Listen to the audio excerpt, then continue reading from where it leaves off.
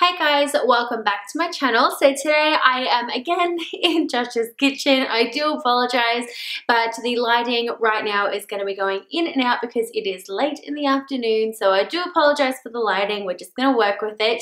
But today I bring you my favorites for the month of July. And yes, we are officially more than halfway through the year. Christmas is going to be just around the corner. It is blowing my mind, but nonetheless, I still have some really awesome favorites that I am so excited to share with you guys. And I have pretty much everything that I have is brand new. I don't think it's been in a favorites before, maybe one or two things, but um, I don't think it has actually. Everything that you are seeing right now, I have either shown in my Sephora University haul or shown in my Sephora haul. So if you have seen either one of these or either one of those videos, then you will have seen these products that I'm going to show you guys. So everything that you are seeing today, you can purchase at Sephora, but I am so excited to share with you guys all my favorites because I've been using this product almost every single day um, for the last like month and a, I think, yeah, it's been, how long? How long have we been open for? Some things I've been using for a good couple of months and some of them I've been using for a couple of weeks and I've just been loving them and I just can't wait to share with you guys. So if you guys want to see what is in my July favorites, then just keep watching. So I want to start this favorites off with all of my base and face products. So I have a foundation that I have been loving and have been wearing um, almost, I would say, like 80% of the time. Um, it is the Becca, this is the Ultimate Coverage Complexion Cream Foundation. And just for reference, I do have combination oily skin. So for those who have the same skin type as me and you're wondering because it is a cream foundation, it sits beautifully beautifully on our skin. And this particular one does have to be set really well, but I find usually I only have to touch up once, twice max throughout the whole entire day. And if you are an oily girl, you know that you get oily throughout the T-zone or anywhere else, it's a hot mess. And if you can just touch up less than what you used to, then it is an amazing product. And I find this particular product is incredible. It is full, full coverage. It just sits on the skin so beautifully. It makes it look flawless. I am obsessed with it.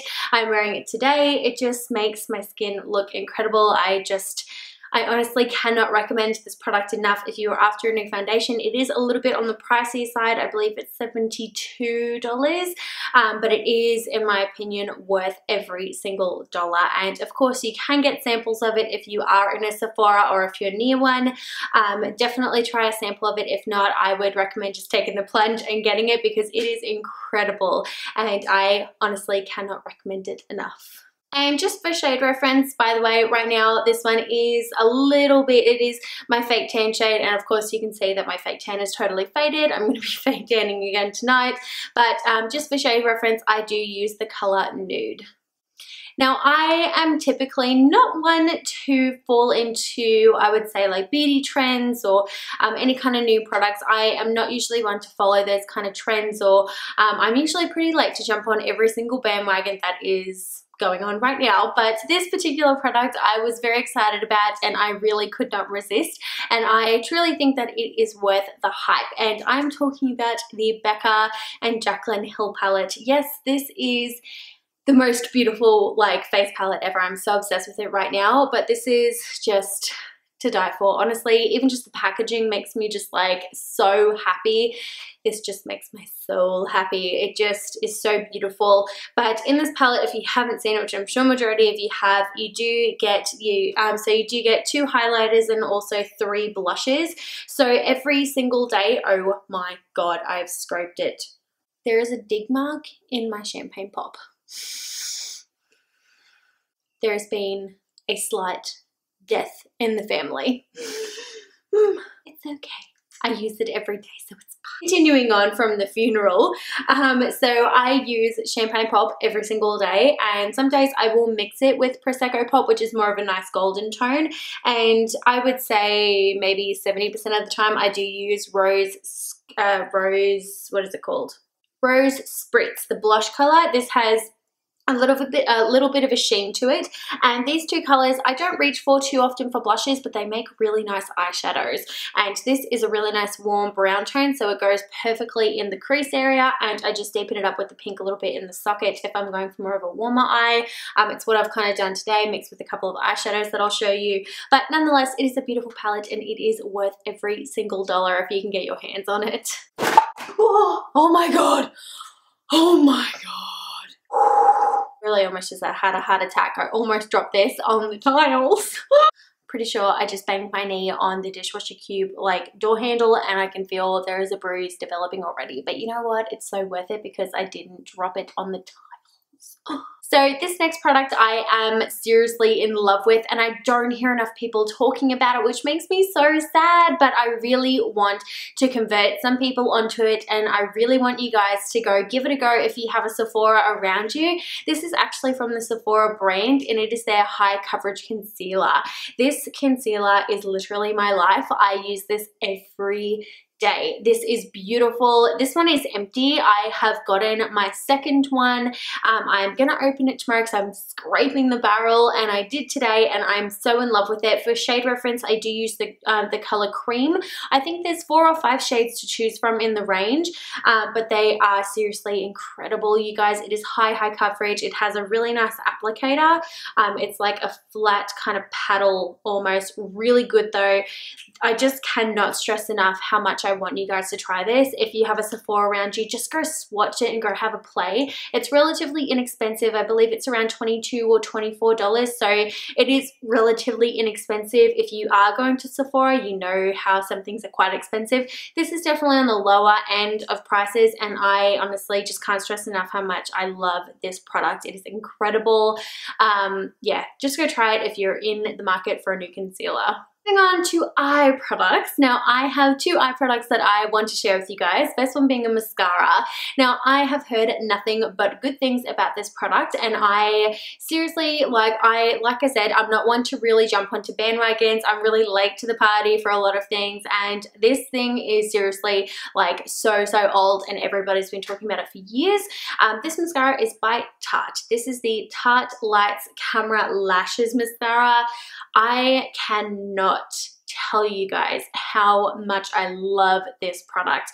This gives the most amazing amount of length and a little bit of volume. I always tell all of our customers if you want a lot of volume with this particular product because the brush is quite dense, I really focus it on the base of my lashes. I really wiggle it and then just pull up and that just gives both volume and length and I just cannot stress to you guys um, how much I love this product. It is really, really nice and I will admit I am very late to this bandwagon and I think it is worth every single dollar and it is relatively inexpensive as well. For this mascara in Sephora Australia, it is $27 I believe. So it's like the same price as Revlon and L'Oreal.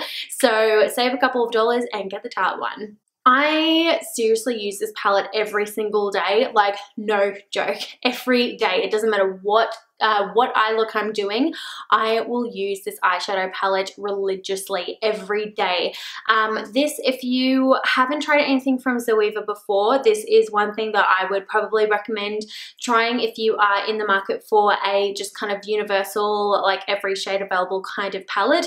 It is the Warm Spectrum palette. They do fantastic eyeshadow palettes and they're so, so inexpensive. For the 10 eyeshadow pans, which is like the Cocoa Blend, Naturally Yours, those those kind of palettes, which I know a lot of people are into. They're only $39 and they're so inexpensive. It's like $3.90 eyeshadow. So they're really good quality. I would recommend those as well. But today I am talking about the Warm Spectrum palette. This one is 75 and you do get 15 eyeshadows in this. And the pigmentation on these are so incredible. I use every single day. I use this light brown shade um, as my first color. It doesn't matter what color look I'm doing. I will chuck this in the crease and that is like my base transition color.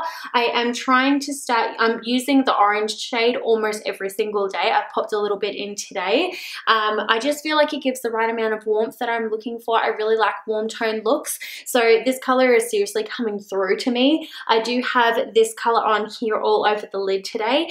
Um, and I have mixed a little bit of this color and the orange on my lower lash line. And I just I cannot get enough of this palette, you guys. If you're going to try anything and you like eyeshadow palettes, try this one. It is seriously so amazing. The pigmentation is just like, it's unreal. Like, you know, like it's just got really good pigmentation. It's definitely worth it. So if you're after a new eyeshadow palette, try the Warm Spectrum palette. You will not be disappointed. Now, I, again, was never one to use pomades in my eyebrows. I just felt like I was just not neat enough for them. Um, I really am quite sloppy with my eyebrows, but pomades have officially changed my life. like, not even exaggerating. They have changed my brow game so drastically. I don't know why it's taken me this long to get on the bandwagon.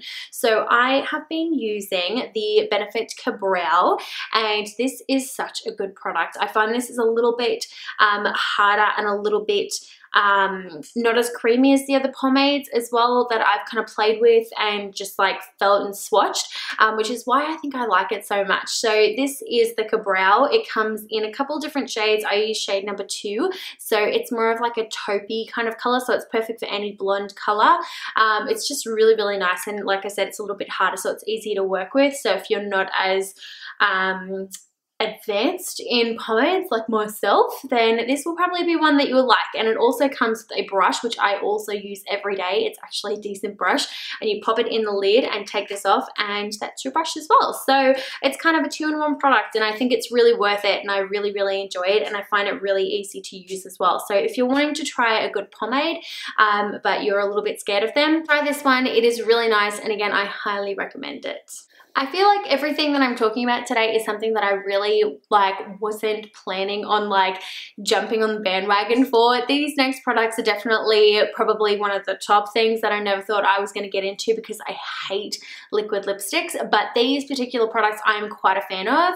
The Kat Von D Everlasting Liquid Lipsticks are seriously game changing. I think these two particular colors are incredible. Um, so Lolita, which is this bottom one here, is seriously, it's got my heart completely by like every string, like every heartstring available, this has got it. I wear this almost every single day, but of course today I am wearing Bow and Arrow, which is another favorite. It is very unusual color for me. Um, this is completely out of my comfort zone. I felt a little bit uncomfortable purchasing it, but I wanted to try it because I obviously work in cosmetics and there's so many different brands and I didn't want to keep on wearing my pinky nudes, which I do love, but um, these seriously have pushed me out of my comfort zone just a little bit and I really love them so, so much and they're very comfortable to wear as well. I find these particular, these two particular shades haven't dried um, to that uncomfortable, like life sucking out of your lips kind of um, um, matte lipstick does. And I honestly I cannot get enough of these. And I again highly recommend them. If you don't like um, the usual matte lipsticks try these two colors. I find that they're not too drying at all. And um, I think they're game changing honestly. I really like them so that is all of my makeup favorites. Now I do have some random favorites that I want to share with you guys. So I've just pulled them up on my phone. I've only got a couple of random favorites to share with you guys today. I've got two song favorites and a TV show favorite. So the two songs that I've been loving recently is Cold Water by Justin Bieber. I'm sure everybody is loving that song right now because it is incredible. It's so catchy and I have it on repeat pretty much every day. Um, also, this is completely on the opposite side of the spectrum of um, songs from what I just mentioned. Uh, Purple Lamborghini is the song for Suicide Squad and I'm seeing it next Saturday night. Oh my god, I literally die. I'm so excited. I've been waiting for that movie to come out for so long, like it's a joke. Um, so Purple Lamborghini by Rick Ross and Skrillex is definitely a favorite. I'll leave them in the description box so you guys can go check them out if you are wanting to listen to them.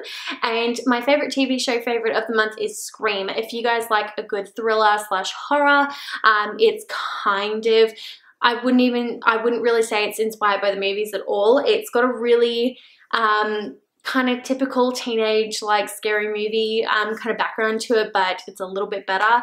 Um, I've just been watching it religiously every single Wednesday. I'm totally obsessed and if you guys like um, a thriller slash horror TV show maybe check it out. It's on Netflix. It's really addictive um, but it's on every Wednesday night and I watch it religiously. So that guys is everything in my monthly favorites. I hope you guys enjoyed. Let me know what your favorites are for the month of July. Um, leave them in the comments down below. I'll definitely check them out and And again, thank you guys so much for watching. And until next time, I will see you guys in my next video. Bye guys.